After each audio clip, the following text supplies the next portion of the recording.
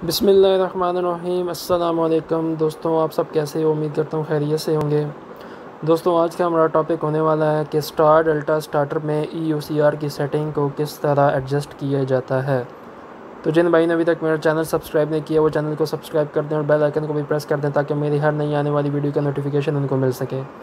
चलें वीडियो शुरू करते हैं। दोस्तों, हमें पता है कि जब मोटर स्टार में चलती है तो वोल्टेज कम होने की वजह से एम्पेयर बढ़ जाते हैं। और जब टाइमर अपना टाइम कंप्लीट करवाने के बाद डेल्टा कंडक्टर को लगवाता है तो वोल्टेज ज़्यादा होने से करंट कम हो जाता है। इस तरह जब आप लोग ई e की सेटिंग करते हो एम्पेयर की सपोज़ एक मोटर 40 एम्पेयर लेती है, उसके जो एफ़ एल है वो 40 एम्पेयर हैं तो वो चलती है 80 परसेंट लोड पे तो 80 परसेंट लोड उसका बनता है बत्तीस एम्पेयर तो आपने अगर उसकी सेटिंग बत्तीस एम्पेयर पे की है, उसके डिले टाइम दो या तीन सेकंड का रखा हुआ है ऑपरेशन टाइम भी आपने एक या दो सेकंड का रखा हुआ है तो जब मोटर स्टार में करंट लेगी, वोल्टेज कम होंगे और वो बत्तीस एम्पेयर से ज़्यादा एम्पेयर लेगी, कंजप्शन उसके ज़्यादा होंगे। तो उस टाइम जो आपने टाइमर का डिले टाइम डाला होगा, छः से सात सेकंड या आठ सेकंड या नौ सेकंड तो इतनी देर में तो मोटर ट्रिप हो जाएगी, क्योंकि आपने डिले टाइम भी उसका काम रखा हुआ है ई सी आर का, ऑपरेशन टाइम भी काम रखा हुआ है। तो ऐसी सूरत में हमें क्या करना चाहिए? ऐसी सूरत में हमें उसका डिले टाइम बढ़ाना चाहिए।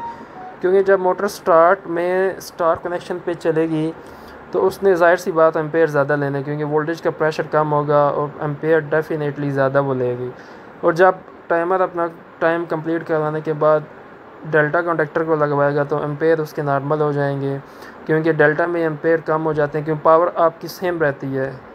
वोल्टेज कम होंगे तो एम्पेयर ज़्यादा होंगे, अगर वोल्टेज ज़्यादा है तो एम्पेयर कम होंगे, क्योंकि पावर उसमें सेम रहती है। दोस्तों ई ओ में अब डी टाइम और ओ टाइम में क्या फ़र्क होता है? दोस्तों, जब E O C R fault current को सेंस करती है तो जो हमने इस पर डी टाइम की सेटिंग की होती है, डी टाइम बेसिकली एक डिले टाइम होता है। जो इसमें जो करंट पास होती है इसकी सीटी में से, उसको ये थोड़ा सा डिले करता है। डिले करने के बाद उतने सेकंड के बाद फिर ये ऑपरेशन टाइम पे शिफ्ट हो जाता है। दोस्तों ऑपरेशन टाइम असल में इसका ऑपरेटिंग टाइम होता है जो हमने फॉल्ट के लिए नॉर्मली क्लोज कॉन्टैक्ट उठाया होता है। जब यू सी आर ट्रिप होती है तो बाद में वो ओपन हो जाता है। तो ऑपरेशन टाइम जितना हमने टाइम सेट किया होता है, एक सेकंड दो सेकंड तीन सेकंड उतने वक्त टाइम के बाद ये कॉन्टैक्ट को ओपन करवा देती है। इस तरह यू सी आर हमारी मोटर को प्रोटेक्शन फ्राहम करती है। दोस्तों, जो पीछे मैंने बात की थी EOCR की नॉर्मली क्लोज कॉन्टैक्ट की, असल में वो नॉर्मली ओपन कॉन्टैक्ट है। जब EOCR को हम पावर अप करते हैं तो normally open contact normally close हो जाता है। और जो नॉर्मली क्लोज़ होता है, वो नॉर्मली ओपन हो जाता है। दोस्तों, आज के लिए इतना ही। अगर वीडियो आपको पसंद आई तो वीडियो को लाइक करें शेयर करें। मिलते हैं आपसे अगली वीडियो में। तब तक के लिए अपना बहुत ख्याल रखें। दो में मुझे याद रखें। अल्लाह हाफिज़।